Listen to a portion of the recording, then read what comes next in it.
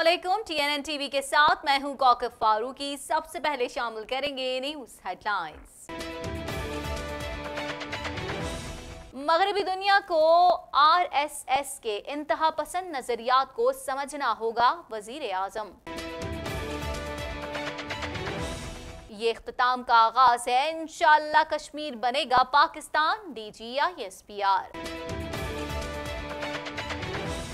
بھارتی جاسوس کلبھوشن یادیف سے انڈین ڈیپٹی ہائی کمشنر کی ملاقات۔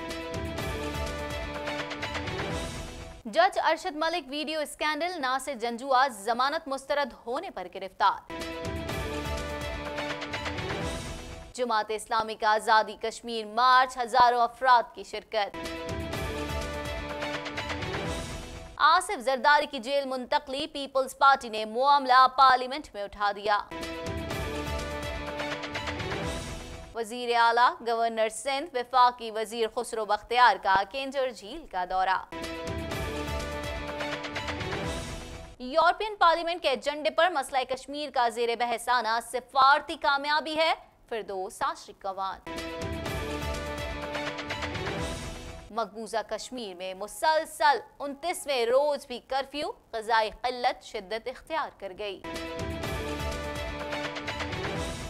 کینیڈین حکومت کی شہریوں کو بہمارس اور فلوریڈا کا سفر نہ کرنے کی ہدایات۔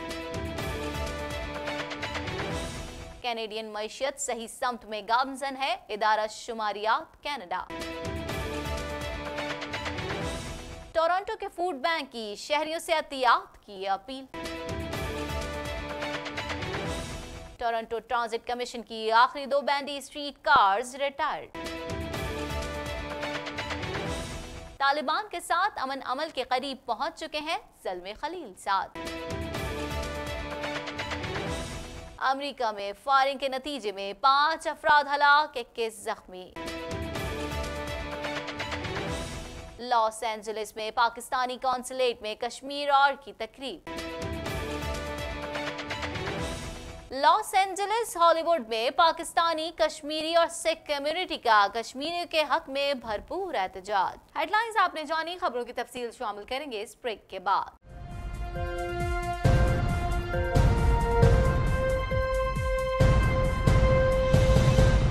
بلٹن میں خوش آمدید بلٹن کے آغاز میں سب سے پہلے بات کریں گے وزیر اعظم عمران خان نے Islamic Society of North America کے کنونشن سے خطاب کرتے ہوئے کہا کہ پاکستان امن کو پھیلانے میں اپنا کردار ادا کرے گا۔ وزیر اعظم نے کہا کہ اسلام میں دہشت گردی کی کوئی گنجائش نہیں ہے۔ مزید احوال اس رپورٹ میں۔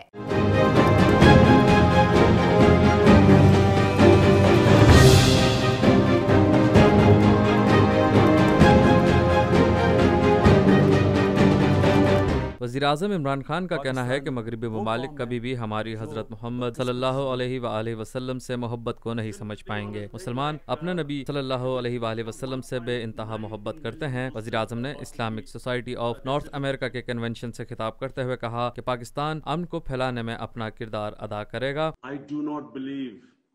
Western society affection we have for our Holy Prophet Muhammad, peace be upon him. And because they do not understand this, um, we have surprise in the Western societies when any person mocks or ridicules our Holy Prophet. And they see this reaction amongst the Muslims, they don't understand it because they do not view religion like we do. I have spent a lot of my time uh, in England because I used to, I studied there and played professional cricket there. And I know that they do not view religion like we do. They, the way they talk about religion, the way they talk about even Jesus Christ, peace be upon him, it is, they, they don't understand how Muslims love and respect their Prophet. وزیر اعظم نے کہا کہ اسلام میں دہشت گردی کی کوئی گنجائش نہیں۔ دنیا بھر میں اسلاموفوبیا بڑھتا جا رہا ہے۔ خدشہ ہے کہ بھارت کشمیر سے توجہ ہٹانے کے لیے کچھ بھی کر سکتا ہے۔ بھارت میں کسی بھی ایکشن کا بھرپور جواب دیا جائے گا۔ انہوں نے کہا کہ بھارت میں آر ایس ایس مسلمانوں کے خلاف نفرت پھیلا رہی ہے۔ آر ایس ایس کی شروعات کیسے ہوئی وہ انٹرنیٹ پر دیکھا جا سکتا ہے۔ انہوں نے کہا کہ بھارت میں مسلمانوں کو برابری کے حقوق نہیں مل رہے۔ مقبوضہ کشمیر کے لوگ کرفیو میں زندگی گزار رہے ہیں۔ مقبوضہ کشمیر میں میڈیا بلیک آؤٹ ہے۔ My second point is about Islamophobia. Now, what the Western countries must that there is only one Islam, and that is the Islam of Prophet, peace be upon him. Uh, like in every human community, they are moderates, they are radicals, they are intellectuals, and they are extremes. Same in, in the Muslim community. But there is only one Islam. So when terms like Islamic terrorism are used, unfortunately, this creates what I believe one of the main reasons it creates Islamophobia. Because when words are used like uh, this is a radical Muslim or this is a Muslim extremist or Muslim terrorist, how is the man in the street in the Western society supposed to distinguish between what is a moderate Muslim and what is a radical Muslim? So the whole Muslim community gets tainted by that. And so every Muslim becomes suspect. And then you have people like the gunman who walks into a mosque and shoots Muslims because he, he can't distinguish. وزیر اعظم عمران خان نے کہا کہ مغربی دنیا کو R S S کے انتہا پسند نظریات کو سمجھنا ہوگا۔ آزادی اظہار کا مطلب یہ نہیں کہ کسی کے مذہبی جذبات کو مجروح کیا جائے۔ عمران خان کا کہنا تھا کہ مقبوضہ کشمیر میں آر ایس ایس کے گنڈے دہشت گردی کر رہے ہیں۔ بھارت کا سیکولرزم خطرے میں ہے۔ عمران خان کا مزید کہنا تھا کہ بھارت فروری جیسا ایڈونچر دوبارہ کر سکتا ہے۔ خدشہ ہے بھارت کشمیر سے توجہ ہٹانے کے لیے کچھ بھی کر سکتا ہے۔ انہوں نے کہا کہ بھارت کے کسی بھی ایکشن کا بھرپور جواب دیا جائے گا۔ What I want Islam to do. Raise awareness. The 21st century, this is happening. And this is happening, an, an ideology which openly states that they want to change the demography of the people of Kashmir, which openly states that the Muslims do not have the same rights in India as the Hindus. They have completely cast aside the secularism of Nehru and Gandhi. And I'm afraid this ideology is not going to stop here. I think they have let out of a genie out of a bottle. It's not going to go back in. This genie of hate, of Hindu supremacy. It's not just the Muslims who are going to be a, a threat. And I'm again almost 200 million Muslims in India. Pakistani, وہ کچھ بات کریں گے D G I S P R, major general Asif Ghafoor نے سماجی رابطے کی website Twitter پر ٹویٹ کیا، جس میں انہوں نے بھارتی نیوز چینلز کی بھارت میں پاکستانی پرچم لہرائے جانے کی خبر کو اپنے ذاتی ٹویٹر اکاؤنٹ سے شیئر کیا۔ مزید جانتے ہیں اس رپورٹ میں۔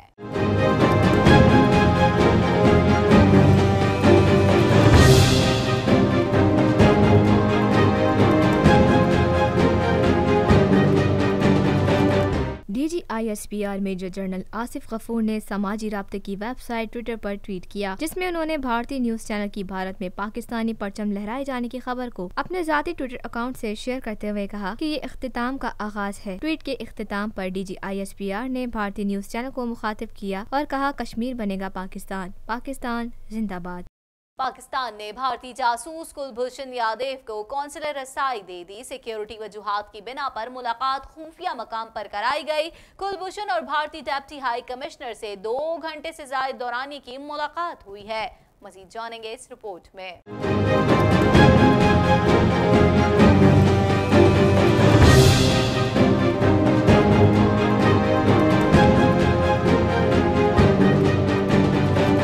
پاکستان نے بھارتی جاسوس کلبھوشن یادو کو کونسلر رسائی دے دی۔ سیکیورٹی وجوہات کی بنا پر ملاقات خفیہ مقام پر کرائی گئی۔ کلبھوشن اور بھارتی ڈیپٹی ہائی کمشنر سے دو گھنٹے سے زائد دورانی کی ملاقات ہوئی ہے۔ بھارتی خفیہ ایجنسی رو کے حاضر service agent commander Kulbhushan Yadav کو بھارتی کونسلر تک رسائی دے دی ہے۔ ملاقات میں پاکستان کی جانب سے ڈائریکٹر جنرل بھارتی امور فریا بھکٹی بھی موجود تھی ترجمان دفتر خارجہ نے اپنے بیان میں کہا ہے کہ کلبھوشن یادو کو عالمی عدالت انصاف کے فیصلے کی روشنی میں کونسلر رسائی دی جا رہی ہے۔ کمانڈر کلبھوشن یادو پاکستان میں جاسوسی اور دہشت گردی میں ملوث ہونے پر حراست میں ہے۔ واضح رہے کہ سترہ جولائی کو عالمی عدالت انصاف نے کلبھوشن یادو کی بریت اور بھارت کے حوالے کرنے سے متعلق بھارتی درخواست مسترد کر دی تھی۔ تاہم کلبھوشن یادو کو کونسلر رسائی فراہم کرنے کا فیصلہ سنایا تھا۔ اور اب کچھ بات کریں گے ویڈیو اسکینڈل کیس کے حوالے سے۔ آپ کو بتائیں، جج ارشد ملک، مبینہ ویڈیو اسکینڈل کے مرکزی ملزم ناصر جنجوا کو درخواست ضمانت مسترد ہونے پر گرفتار کر لیا گیا۔ مزید احوال اس رپورٹ میں۔ جج ارشد ملک مبینہ ویڈیو اسکینڈل کے مرکزی ملزم ناصر جنجوا کو درخواست ضمانت مسترد ہونے پر گرفتار کر لیا گیا۔ سائبر کرائم عدالت کے جج طاہر محمود نے جج ارشد ملک ویڈیو اسکینڈل میں ملوث ملزمان کی قبل از وقت گرفتاری سماعت کی۔ عدالت نے مبینہ ویڈیو اسکینڈل میں ملوث نامزد ملزمان ناصر جنجوا اور خرم یوسف کی درخواست ضمانت مسترد کر دی۔ عدالت کی جانب سے درخواست مسترد کرنے کے بعد ایف آئی اے نے دونوں ملزمان کو کمرہ عدالت سے گرفتار کر لیا، جبکہ ایف آئی اے نے ایک اور ملزم ملزم۔ غلام جلانی کی درخواست بھی مسترد ہونے کے بعد ملزم کو کمرہ عدالت سے گرفتار کر لیا۔ کراچی میں شدید بارش کی باوجود جماعت اسلامی کے آزادی کشمیر مارچ میں ہزاروں افراد نے شرکت کی، جن میں خواتین اور بچے بھی شامل تھے۔ مزید جانتے ہیں اس رپورٹ میں۔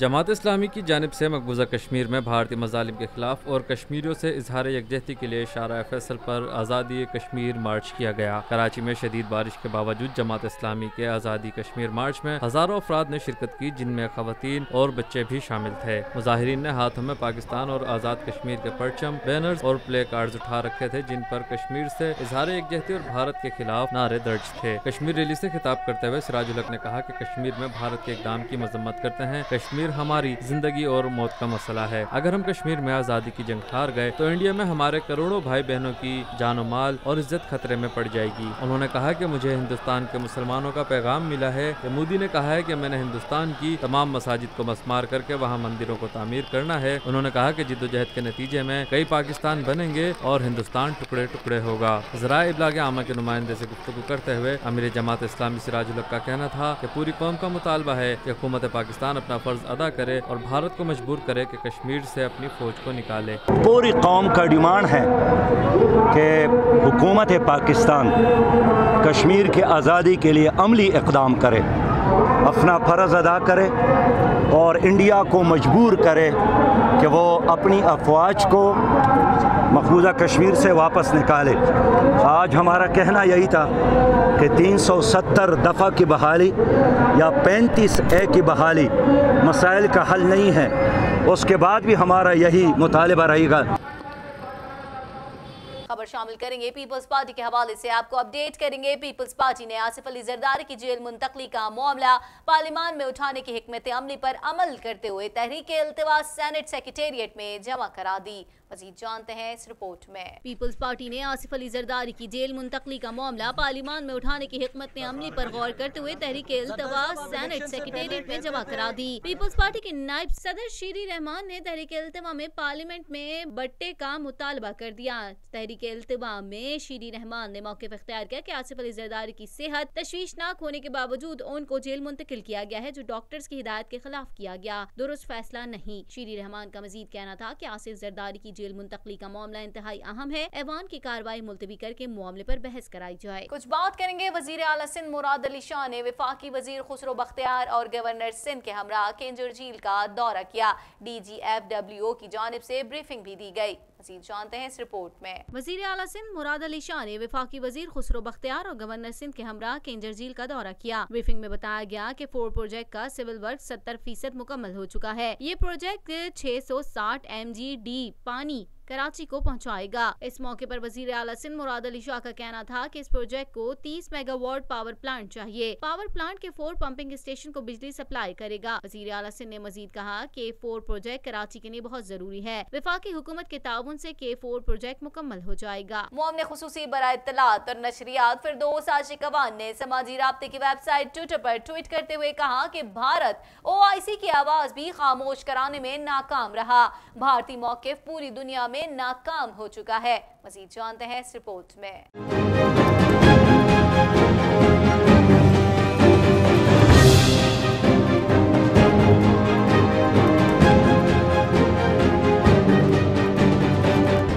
نے خصوصی برائے اطلاعات و نشریات فردوس آشکاوان نے سماجی رابطے کی ویب سائٹ ٹویٹر پر ٹویٹ کرتے ہوئے کہا کہ بھارت او آئی سی کی آواز بھی خاموش کرانے میں ناکام رہا۔ بھارتی موقف پوری دنیا میں ناکام ہو چکا ہے کہ کشمیر ان کا اندرونی معاملہ ہے۔ وزیر اعظم عمران خان کی سفارتی جد و جہد اور کشمیری عوام کی بے مثال قربانیاں پوری دنیا میں اپنا رنگ دکھا رہی ہے۔ عمران خان کی کال پر قوم کا شاہراہوں پر کشمیر آر منانا عالمی میڈیا کی توجہ کا مرکز بنا رہا۔ یہ سب ان لوگوں کے لیے سبق ہے جنہوں نے قوم کے سچ سچے جذبات کا مذاق اڑایا۔ کچھ بات کریں گے، کرفیو کے باوجود کشمیریوں کی مزاحمت میں کمی نہ آئی۔ سری نگر سمیت مختلف علاقوں میں کشمیری نوجوان سخت پابندیوں کے باوجود بھی احتجاج کر رہے ہیں، جبکہ وادی میں غذائی قلت بھی شدت اختیار کر گئی ہے۔ مزید جانتے ہیں اس رپورٹ میں۔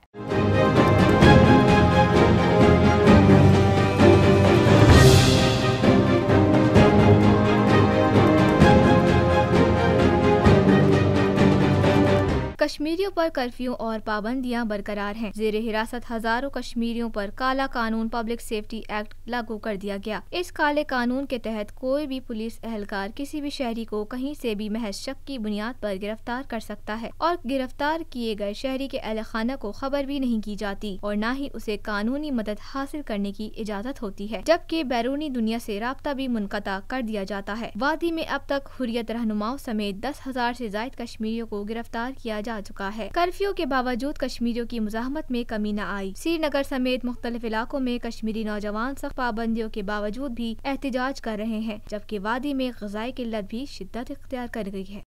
مزید خبروں کو بھی بولٹن کا حصہ بنائیں گے، مگر اس شارٹ بریک کے بعد۔